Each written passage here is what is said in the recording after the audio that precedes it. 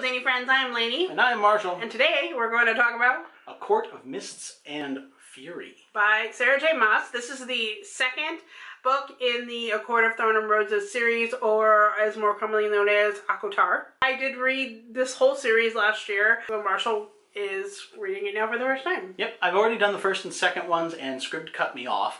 A little bit of a spoiler warning if you haven't done the first book yet, this will completely ruin it for you. At the end of the last book, um, she manages to rescue all the fairy kingdoms from the evil queen, and she is transformed after dying into a fairy herself, and now she's going to marry her one true love, who, who, who's very quickly becomes a jerk, and cuts her off from all information and won't let her leave the palace and is extremely possessive of her.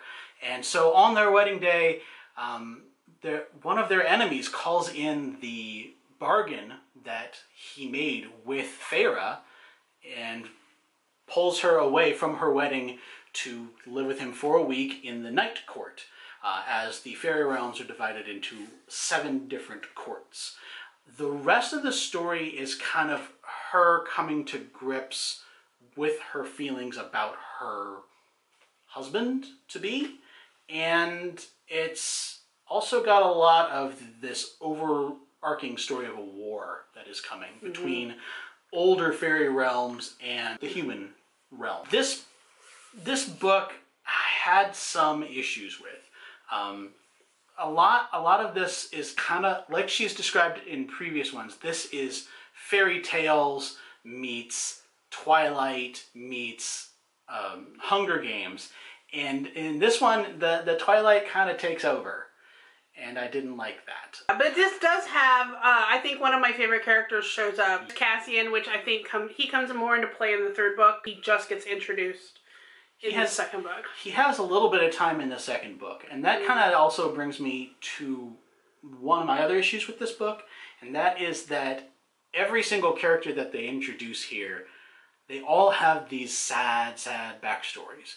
And I don't have a problem with that. But when literally every character has a sad backstory, aren't they all just the same character? No. It felt like it. It felt like it. There is a few differences in this one or that one, but I'm really looking forward to the next book because where we ended in this book, I'm just like, oh, it's on now. where the last book I gave it four stars, this one I'm kind of more. Uh, it's a three star for me. I really have high hopes for the next one.